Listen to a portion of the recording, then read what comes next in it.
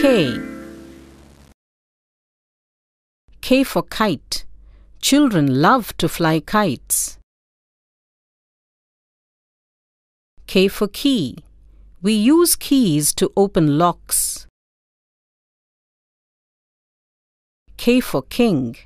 Kings rule kingdoms.